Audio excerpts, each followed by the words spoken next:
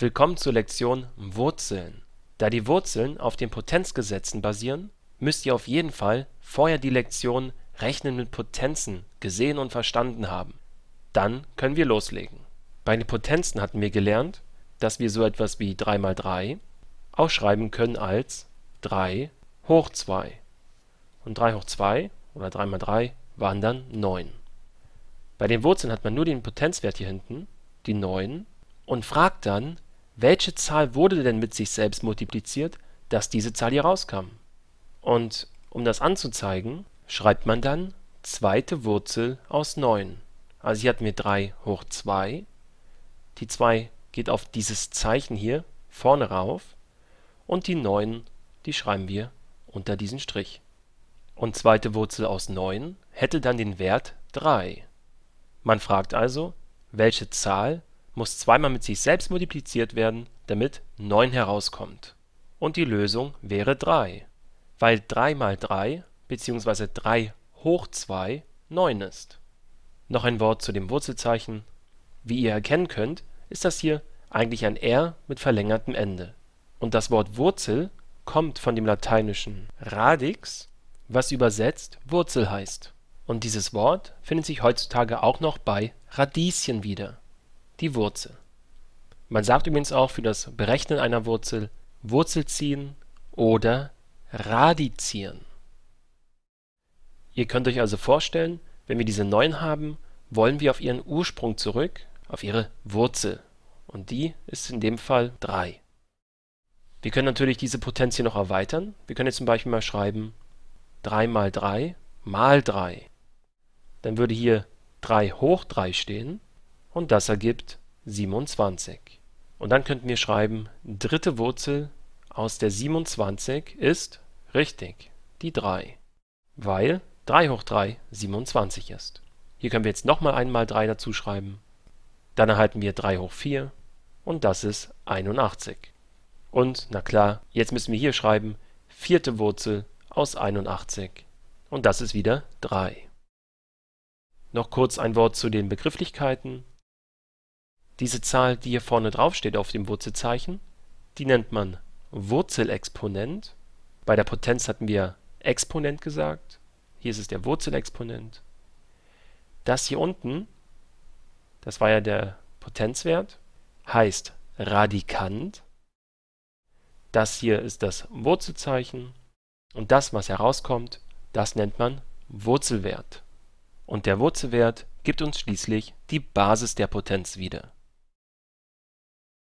Wenn wir so etwas übrigens haben, 3 hoch 4 ist 81, vierte Wurzel aus 81 ist 3, dann können wir übrigens auch das hier wie folgt schreiben. Wir sagen, 81 ist ja 3 hoch 4, das heißt, wir tragen für die 81 hier 3 hoch 4 ein. Und wir sehen, vierte Wurzel aus 3 hoch 4 ist 3. Dann hatten wir vorher 3 hoch 3 ist 27 und dritte Wurzel aus 27 ist 3. Dann können wir jetzt für diese 27 die 3 hoch 3 einsetzen und wir sehen, dritte Wurzel aus 3 hoch 3 ist 3. Allgemein können wir also sagen, machen wir aus der 3 ein x und aus der 4 ein n und dann sehen wir, nte Wurzel aus x hoch n ist wiederum x. Die Potenz und die Wurzel heben sich gegenseitig auf sofern n den gleichen Wert hat. Daher sagt man auch, die Wurzel ist die Umkehrung der Potenz. Sie macht sie rückgängig.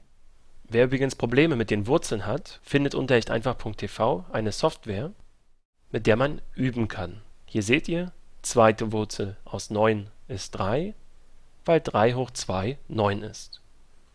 Wenn wir jetzt die zweite Wurzel aus 16 einstellen, kommt 4 heraus, weil 4 hoch 2 16 ist. Selbstverständlich könnt ihr auch den Wurzelexponenten hier ändern. Zum Beispiel die dritte Wurzel aus der 8 ist 2, weil 2 hoch 3 8 ist. Ihr werdet übrigens feststellen, dass viele Werte oft Nachkommastellen haben, die dann gerundet werden. Lasst euch davon aber nicht abschrecken. Noch ein Hinweis zur Schreibweise. Wenn ihr zweite Wurzel aus 9 habt, dürft ihr die 2 hier vorne auch weglassen also einfach nur Wurzel aus 9 schreiben.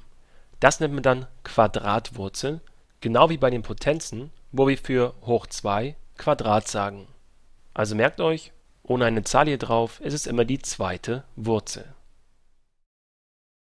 Kommen wir als nächstes zu den Rechengesetzen. Vorher müssen wir uns jedoch noch den Zusammenhang zwischen Wurzel und Potenz klar machen. Nutzen wir hierzu das Beispiel zweite Wurzel aus 3 hoch 4. Und nehmen wir diese 3 hoch 4 mal auseinander in 3 hoch 2 mal 3 hoch 2. Erinnert euch, die Exponenten 2 und 2 werden addiert und wir erhalten die 4. Jetzt können wir das ausrechnen. 3 hoch 2 ist 9, 3 hoch 2 ist 9 und wir erhalten zweite Wurzel aus 9 mal 9. Die 9 mal 9 können wir jetzt als 9 Quadrat schreiben und richtig, zweite Wurzel aus 9 Quadrat. Die beiden heben sich auf und es bleibt die 9 übrig. Als nächstes nehmen wir diese 9 hier runter und versuchen, aus ihr eine Potenz herzustellen. 9 ergibt sich ja aus 3 mal 3. Wir können also schreiben, ist gleich 3 hoch 2. An dieser Stelle wollen wir diese 2 verändern. Wir wollen aus ihr einen Bruch machen. Warum? Das seht ihr gleich. 2 hier runter und schreiben wir sie jetzt als 2 Eintel. Jetzt lasst uns diese 2 Eintel mal erweitern um 2. Wir halten für den Zähler 4 und für den Nenner 2. Also 4 halbe. Das sind ja 2. Jetzt tragen wir diese 4 halbe hier oben als Wurzelexponent ein. Schreiben also ist gleich 3 hoch 4 halbe. Und jetzt erkennen wir, dass 3 hoch 4 halbe das gleiche ist wie zweite Wurzel aus 3 hoch 4. Schreiben wir die beiden mal nebeneinander. Und hier erkennen wir eine neue Regel. Wenn wir die Wurzel in eine Potenz überführen wollen, müssen wir folgendes machen. Wir schreiben hier den Radikanten, die 3, als Basis der Potenz.